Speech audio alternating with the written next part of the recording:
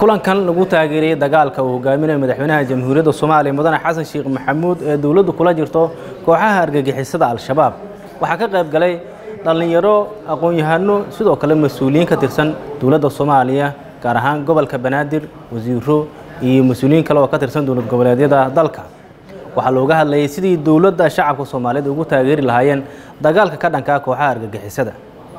oo inta badan ka socda qaybo ka mid a gobollada dalka islamarkaana muddooyinkii ugu dambeeyey looga qabsaday degmooyin iyo deegaano muhiim u ah kooxaha oo inta badan ay ku dhuumaaleysan jireen.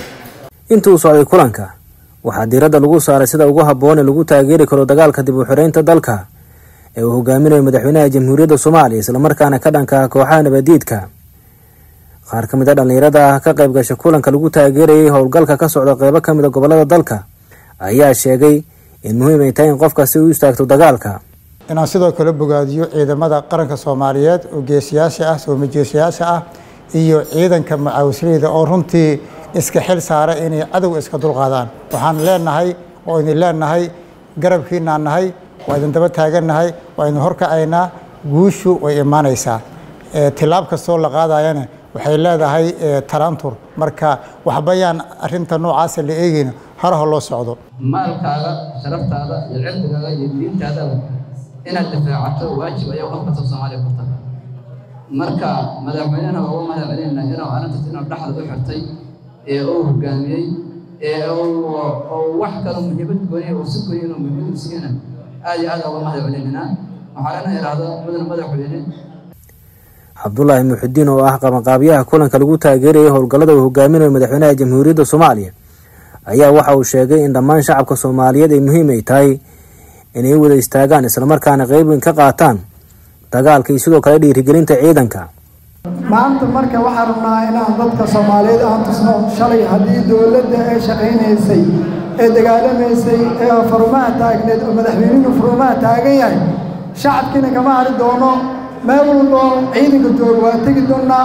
marka walaalayaalow waa maasantihiin shabaab ha la iska celiyo shabaab qafay dhaafeen ma laha walaalayaalow. Hooyay dileen naag urlay dileen caseeyay dileen brofesoray dileen saraakiishay dileen waxgaradkay dileen waa la socotiin walaalayaalow qarxii shaama u dhacay waa la socotiin ardayda ku leetay xargahii saamaha dadka ku leeday waa la socotiin sababa waa la socotiin dadka ku leeday dadkaas oo dhan maxay galabsadeen maxay haleen walaalayaalow waxay halayeen maa jiro walaalayaalow walaalayaalow dagaalkii ha loo kala harin dagaalkan waa dagaal soomaali oo dhan iyo shabaab ka dhexeeya walaalayaalow soomaaliya oo dhan oo dhinaca iyo shabaab oo dhinaca walaalayaalow gudoomiyaha dhallinyarada gobolka banaadir cabdikaafi maxamuud makaraan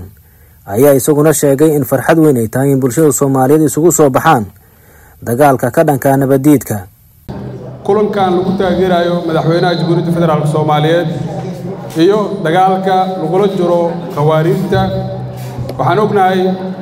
dalkeenna marxaladaha oo soo maray iyo maanta marxaladda oo joogo inay kala duwan tahay. Xilli waxaan ogeyn aan looga sheekaynayn dalka kulummada hadda socdaan oo kale. Laakiinse maanta in dadkii shacabkii soomaaliyeed ee bulshadii soomaaliyeed ayagoo la abaabulin isku abaabulaan inay ka dhawaajaan ama ka dhiidhiyaan cadowga ummadda soomaaliyeed inay ka soo horjeedaan. Runaantii farxad ayay noo tahay. Waxaana waajib ah